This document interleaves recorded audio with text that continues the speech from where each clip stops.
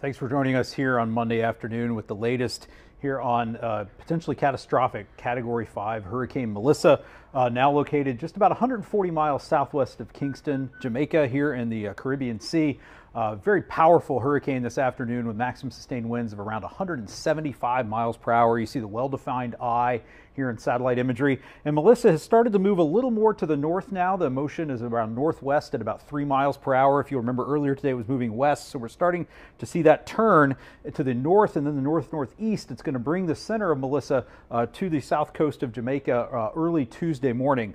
We're going to first focus on the multiple life threatening hazards that are in play for Jamaica. We have a hurricane warning, and with the forecast track of Melissa expected to bring the center to the coast sometimes early Tuesday. We're expecting destructive winds in the uh, eye wall of Melissa as it makes landfall and moves across the island. So we could have complete uh, damage, uh, destruction of, sh of, uh, of, shelters, uh, homes, and buildings uh, in the path of that eye wall, not just along the coast, but in areas of high terrain across the central part of the island as the center of Melissa moves across the island during the day on Tuesday. So that hurricane warning is in place. Everyone in Jamaica needs to be in their safe place now to ride out the storm all the way through tomorrow. We're also very concerned about the potential for life threatening storm surge inundation near and to the right of where the center crosses the south coast early tomorrow with the potential for 9 to 13 feet of inundation, uh, especially in areas like the Black River uh, Bay and uh, farther east. And we're also expecting destructive wave action along the coast as well and significant storm surge all the way well east of the center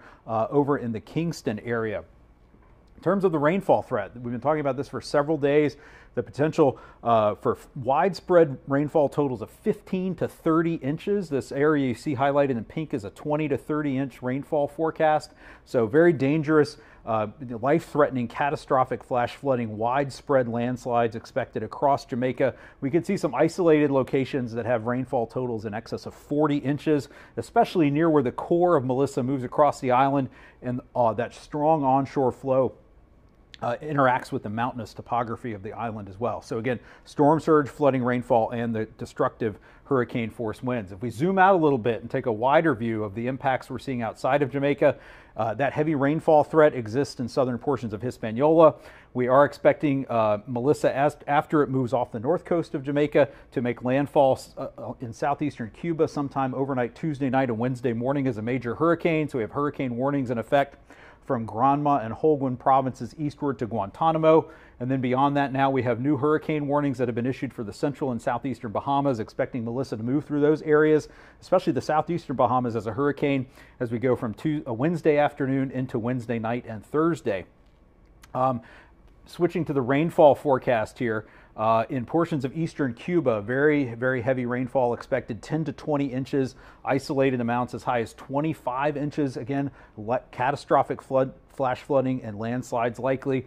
And back here in Hispaniola, expecting some portions of southwestern Haiti to again uh, uh see possible rainfall totals as high as 40 inches, expecting 6 to 12 additional inches in southern portions of the Dominican Republic and the southwest peninsula of Haiti. So that rainfall threat in Hispaniola is going to continue well into Tuesday and even Wednesday as the center of Melissa moves out into the Atlantic. And then if we look out even longer in time, we could see Melissa threaten Bermuda later in the week in the Thursday to Thursday night time frame.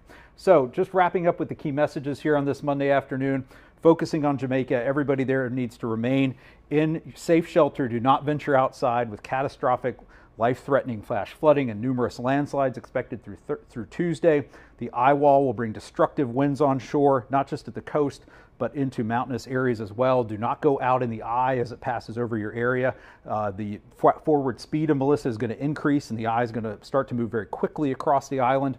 And this is going to lead to widespread infrastructure damage, prolonged power outages, communication outages, and isolated communities. it's going to be a very dangerous post-storm environment.